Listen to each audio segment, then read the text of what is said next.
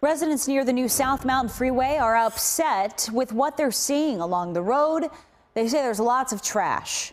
They're being proactive in fighting back against litter bugs. Fox 10's Nicole Garcia joins us live with the story. Nicole. Well, ADOT says littering, littering along the highways isn't just a problem on the South Mountain Freeway. It's a problem along highways all across the state. ADOT saying that they pick up several dozen tons of trash on a monthly basis, and this littering problem has just gotten worse since the beginning of this pandemic.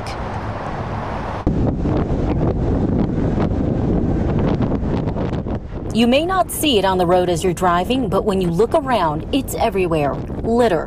Residents say they won't put up with it. As everyone knows, this is a new interstate. It's been open only two years, you know, and lately it just seems like all the side side side areas of the 202, especially between like Lower Buckeye and Dobbins Road, has just been trash on both sides and on all the exits. And it's just it's just very frustrating, you know, to see this new interstate just look very trashy. I can tell you that every month on the South Mountain Freeway alone, uh, we pick up about uh, 60 cubic yards of litter and debris and about 40 cubic yards of old tires and shredded tires and things like that. And then another, I think, 10 cubic yards of metallic debris. So that's a lot. That's about 60 to 80 tons of debris every month. ADOT crews and contractors maintain the freeways, but it also counts on volunteers and inmate crews. However, COVID restrictions prevented those groups from doing the job.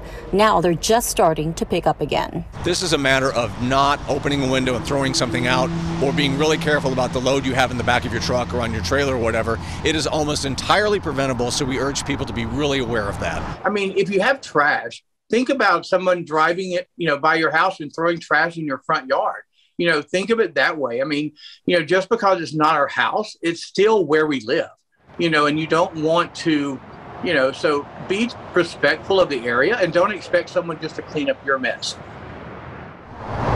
Now, those who are caught littering could face a $500 fine, but they have to be caught and reported. ADOT says if you can safely take a photo of the license plate or any identification of somebody you see littering, you can submit that to ADOT or local law enforcement. And ADOT also has a telephone hotline and a website where you can report littering as well. Those are on our website at fox10phoenix.com. Reporting live, I'm Nicole Garcia, Fox 10 News.